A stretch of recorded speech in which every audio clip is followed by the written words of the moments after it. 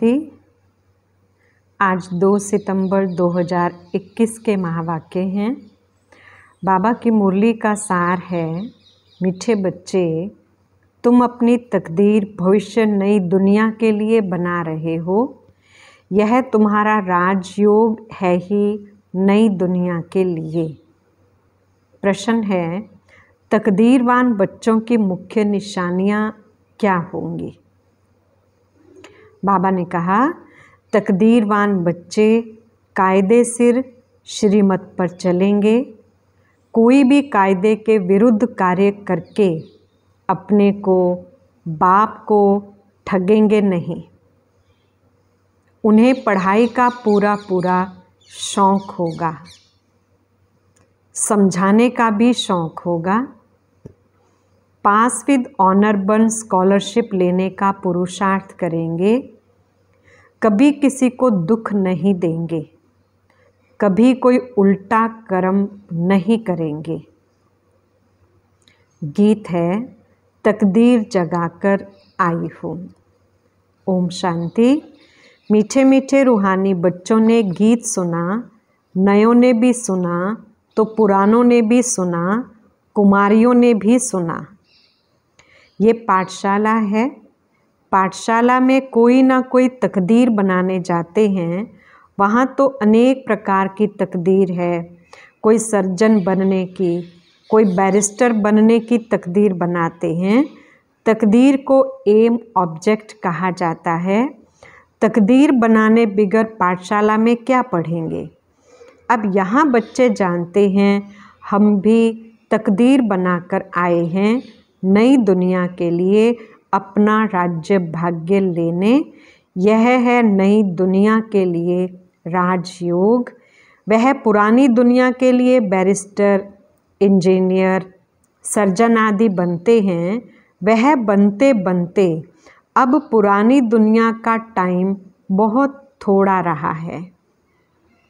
वह तो ख़त्म हो जाएगा। वह तकदीर है इस मृत्यु लोक के लिए, इस जन्म के लिए। तुम्हारी पढ़ाई है नई दुनिया के लिए, तुम नई दुनिया के लिए तकदीर बनाकर आए हो। नई दुनिया में तुमको राज्य भाग्य मिलेगा। कौन पढ़ाते हैं? बेहद का बाप जिससे ही वर्षा पाना है। जैसे डॉक्टर लोगों को डॉक्टरी का वर्षा मिलता है अपनी पढ़ाई का। अच्छा जब बूढ़े होते हैं तब गुरु के पास जाते हैं। क्या चाहते हैं?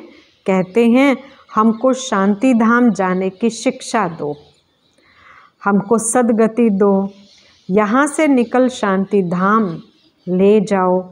बाप से भी वर्षा मिलता है इस जन्म के लिए। बाकी गुरु से तो कुछ नहीं मिलता। टीचर से कुछ ना कुछ वर्षा पाते हैं, क्योंकि आजीविका तो चाहिए ना। बाप का वर्षा होते हुए भी पढ़ते हैं कि हम भी अपनी कमाई करें। गुरु से कमाई कुछ नहीं हुई। हाँ कोई कोई गीता अच्छी रीति पढ़कर फिर गीता पर भाषण आदि करते हैं। यह सब है अल्पकाल सुख के लिए। अब तो इस मृत्यु लोक का अंत है। तुम जानते हो हम नई दुनिया की तकदीर बनाने आए हैं। यह पुरानी दुनिया ख़त्म हो जानी है। बाप की व अपनी मिल्कियत भी सब भस्म हो जाएगी।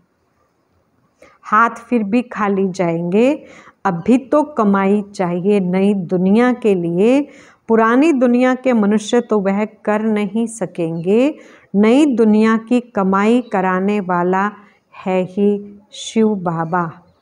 यहाँ तुम नई दुनिया के लिए तकदीर बनाने आए हो, वह बाप ही तुम्हारा बाप भी है, टीचर भी है, गुरु भी है और वह आते ही हैं संगम पर। भविष्य के लिए कमाई सिखलाने, अब इस पुरानी दुनिया में तो थोड़े रोज़ हैं।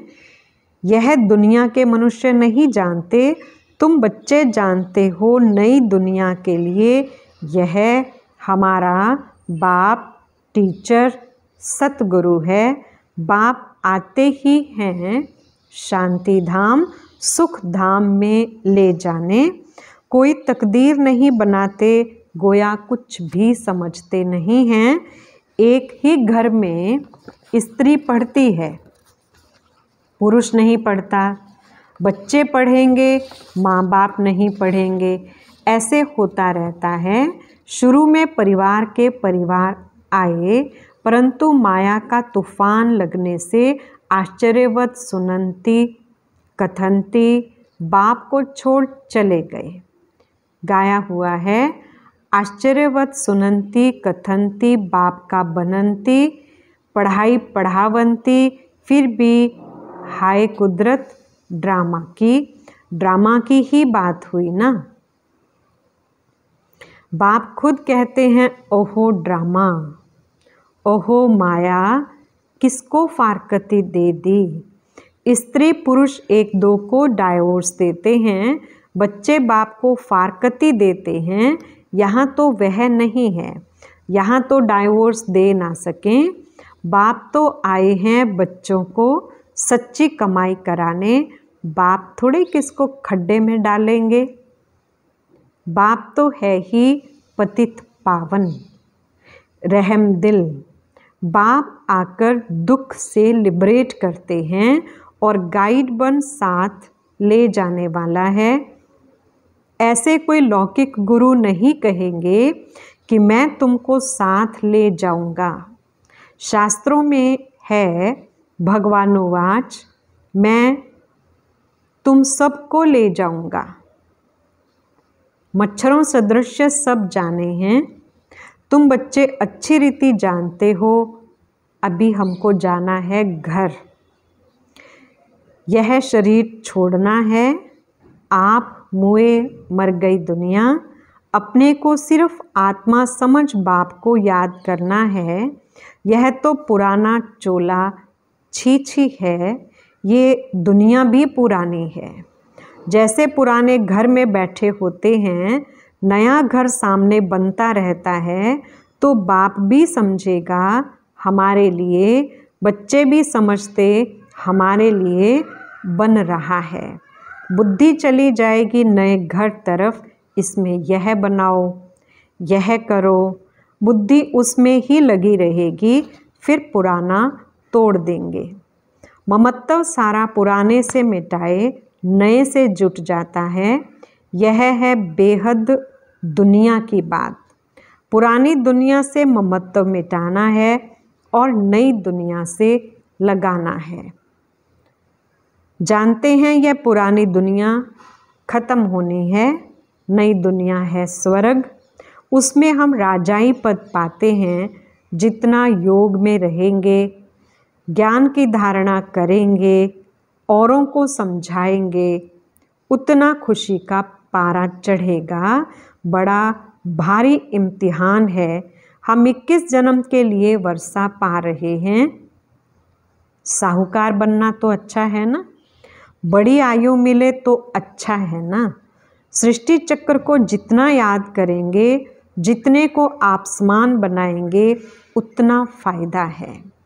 राजा बनना है तो प्रजा भी बनानी है।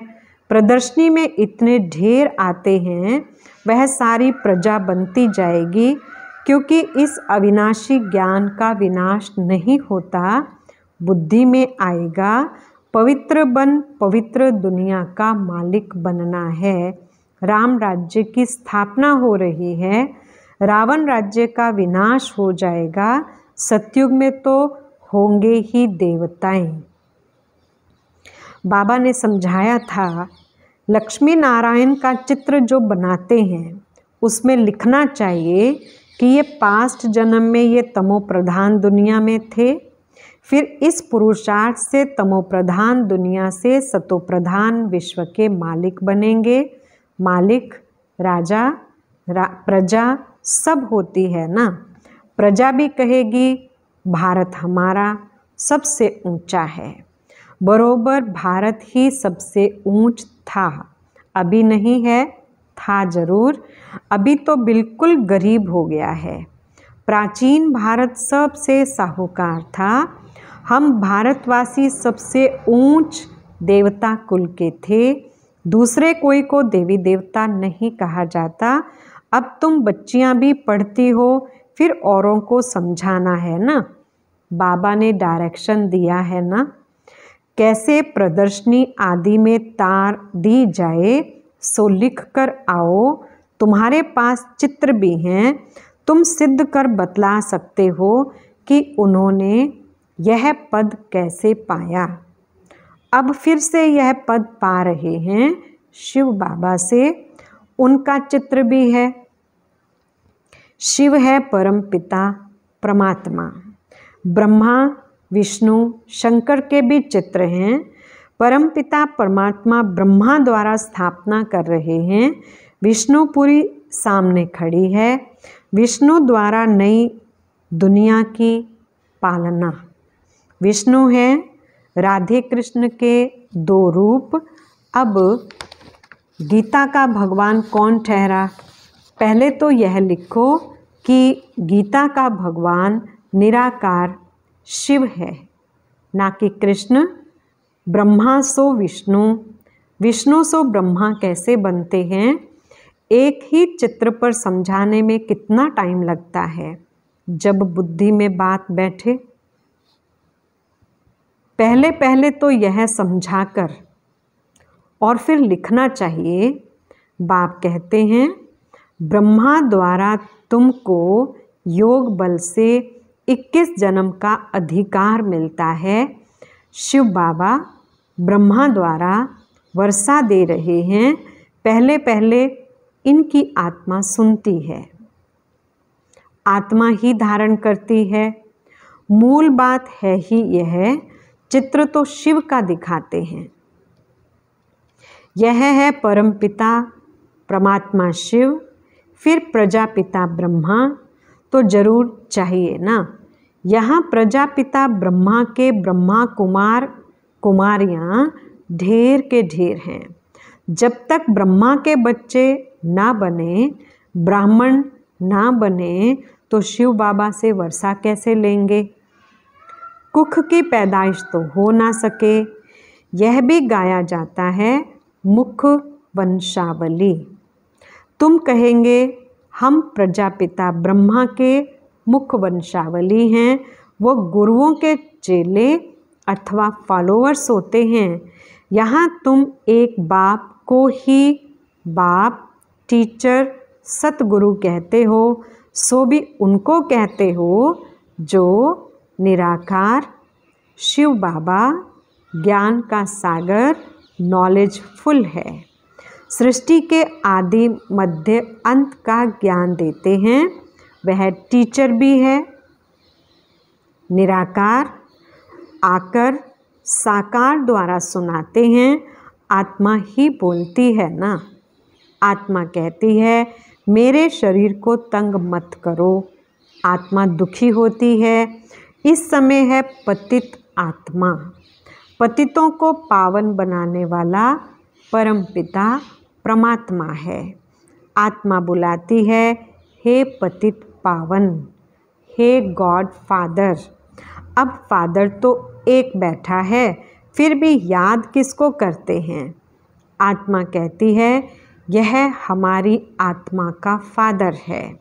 वह बड़ा या शरीर का रचयिता, साकार बाप है, वह बड़ा। साकार तो निराकार को याद करता है अब सबको समझानी दी जाती है, जबकि विनाश सामने खड़ा है। पारलौकिक बाप आते ही हैं, अंत में सभी को वापिस ले जाने। बाकी जो कुछ भी है, वह विनाश होने का है। इसको कहा ही जाता है मृत्यु लोक। जब कोई मरता है तो कहते हैं, फलाना परलोक पधारा। शांति धाम गया, मनुष्यों को ये पता नहीं है कि परलोक सत्युग को कहा जाता है या शांति धाम को। सत्युग तो यहाँ ही होता है, परलोक शांति धाम को कहेंगे। समझाने की बड़ी युक्ति चाहिए। मंदिरों में समझाना चाहिए, यह शिव बाबा का यादगार है, जो शिव बाबा हमको पढ़ा रहे हैं शिव है वास्तव में बिंदी। परंतु बिंदी की पूजा कैसे करें? फल, फूल आदि कैसे चढ़ाए जाएँ? इसलिए बड़ा रूप बनाया है। इतना बड़ा रूप कोई होता नहीं, गाया भी जाता है। भ्रिकुटी के बीच चमकता है अजब सितारा। बड़ी चीज़ हो तो साइंस वाले झट उनको पकड़ लें। बाबा समझाते हैं, उनको परमपिता परमात्मा का पूरा परिचय मिला नहीं है जब तक तकदीर खुले। अभी तकदीर ही नहीं खुली है। जब तक बाप को ना जाने, ये ना समझें कि हमारी आत्मा बिंदी समान है। शिव बाबा भी बिंदी है। हम बिंदी को याद करते हैं ऐसे समझ याद करें, तब विक्रम विनाश हों। बाकी यह देखने में आता, वह आता, इसे माया का विघन कहा जाता है। अभी तो खुशी है कि हमको परमात्मा मिला है, परंतु ज्ञान भी चाहिए। किसको कृष्ण का साक्षात्कार होता है तो खुश हो जाते हैं। बाबा कहते हैं कृष्ण का साक्षात्कार कर बहुत खुशी में डांस आदि करते हैं, परंतु उनसे कोई सदगति नहीं होती। ये साक्षात्कार तो अनायास ही हो जाता है। अगर अच्छी रीति नहीं पढ़ेंगे तो प्रजा में चले जाएँगे। थोड़ा भी सुनते हैं तो कृष्णपुरी में साधारण प्रजा आदि जाकर बनेंगे। अभी तुम बच्चे जानते हो, शिव बाबा हमको यह नॉलेज सुना रहे हैं, वह है ही नॉलेज फुल बाबा का फरमान है कि पवित्र ज़रूर बनना है, परंतु कोई पवित्र भी रह नहीं सकते कभी कभी पतित भी यहाँ छिप कर आ जाते हैं। वह अपना ही नुकसान करते हैं, अपने को ठगते हैं। बाप को ठगने की बात ही नहीं। बाप से ठगी कर कोई पैसा लेना है क्या? शिव बाबा की श्रीमत पर कायदे सिर नहीं चलते तो क्या हाल होगा? बहुत सजाएँ खानी पड़ेंगी, दूसरा फिर पद भी भ्रष्ट हो जाएगा। कोई भी कायदे के विरुद्ध काम नहीं करना चाहिए बाप तो समझाएँगे ना? तुम्हारी चलन ठीक नहीं है।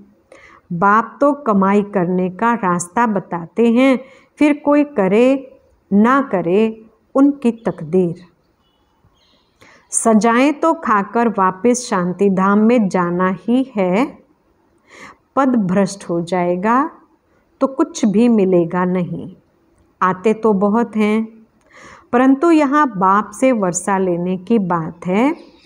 बच्चे कहते हैं, बाबा से तो हम स्वर्ग का सूर्यवंशी राजाई पद पाएँगे, राजयोग है ना? स्टूडेंट स्कॉलरशिप भी लेते हैं ना? पास होने वालों को स्कॉलरशिप मिलती है ना? राजयोग है ना? स्टूडेंट स्कॉलरशिप भी लेते हैं ना? पास होने वालों को स्कॉलरशिप मिलती है। यह माला उन्हों की बनी हुई है, जिन्होंने स्कॉलरशिप ली है। जितना जितना जैसा पास होगा, ऐसी स्कॉलरशिप मिलेगी। वृद्धि होते होते हज़ारों बन जाते हैं। राजाई पद है स्कॉलरशिप। जो अच्छी तरह पढ़ाई पढ़ते हैं, वह गुप्त नहीं रह सकते। बहुत नए नए पुरानों से आगे निकल पड़ेंगे, हीरे जैसा जीवन बनाएँगे। अपनी सच्ची कमाई कर 21 जन्मों के लिए वर्षा पाएँगे। कितना खुशी होती है। जानते हैं ये वर्षा अब नहीं लिया तो फिर कभी ले नहीं सकेंगे। पढ़ाई का शौक़ होता है ना। कोई को तो जरा भी शौक़ नहीं है समझाने का। ड्रामा अनुसार तकदीर में नहीं है तो भगवान भी क्या करे? अच्छा मीठे मीठे सिकिलधे बच्चों प्रति मात पिता बाप दादा का याद, प्यार और गुड मॉर्निंग, रूहानी बाप की रूहानी बच्चों को नमस्ते। हम रूहानी बच्चों की रूहानी बाप दादा को याद, प्यार, गुड मॉर्निंग और नमस्ते जी। धारणा के लिए पहला पॉइंट है, कोई भी कार्य श्रीमत के विरुद्ध नहीं करना है। पढ़ाई अच्छी रीति पढ़कर ऊंच तकदीर बनानी है। किसी को भी दुख नहीं देना है। दूसरा पॉइंट है इस पुरानी दुनिया से ममत्व मिटा देना है। बुद्धि योग नई दुनिया से लगाना है। खुशी में रहने के लिए ज्ञान को धारण कर दूसरों को धारण कराना है। वरदान। लाइट हाउस की स्थिति द्वारा पाप कर्मों को समाप्त करने वाले पुण्य आत्मा भव। विस्तार। जहाँ लाइट होती है, वहाँ कोई भी पाप का कर्म नहीं होता है। तो सदा लाइट हाउस स्थिति में रहने से माया कोई पाप कर्म नहीं करा सकती। सदा पुण्य आत्मा बन जाएँगे। पुण्य आत्मा संकल्प में भी कोई पाप कर्म नहीं कर सकती। जहाँ पाप होता है, वहाँ बाप की याद नहीं होती। तो दृढ़ संकल्प करो कि मैं पुण्य आत्मा हूँ, पाप मेरे सामने आ नहीं सकता। स्वप्न व संकल्प में भी पाप को आने ना दो। स्लोगन, जो हर दृश्य को साक्षी होकर देखते हैं, वही सदा हर्षित रहते हैं। अच्छा ओम शांति।